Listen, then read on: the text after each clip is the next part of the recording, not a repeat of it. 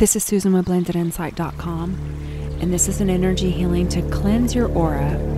All you have to do is uncross your arms and legs, relax, and receive the healing energy.